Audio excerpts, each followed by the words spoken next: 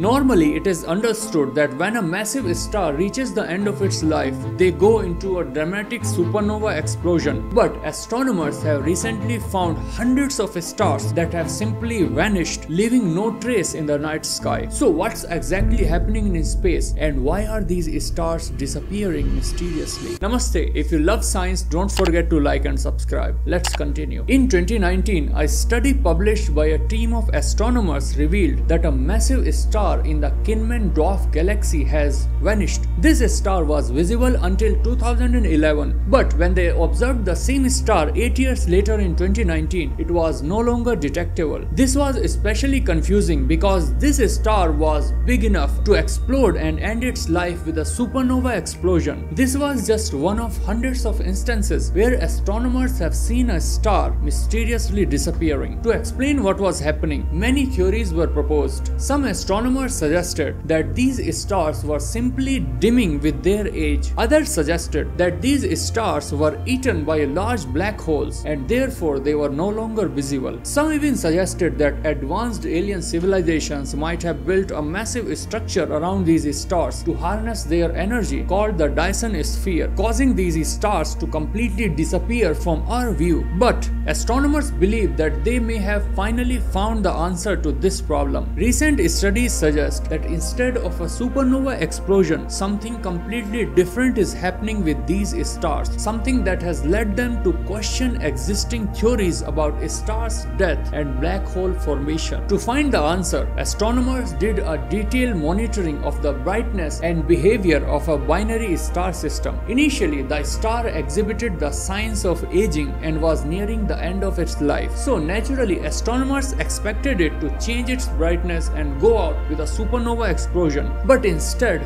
this star quietly collapsed into itself and became a black hole. Astronomers have called this phenomena failed supernova or a direct collapse. They believe that in some cases, extremely massive stars may lose their outer layers to strong stellar winds before the end of their lives, diminishing their ability to explode as supernova. So, when a star's cores run out of fuel, instead of collapsing into itself and then bouncing back and exploding, these stars directly become black hole without entering that supernova phase, which proves that until now we were wrong, I mean at least partially wrong about how stars die.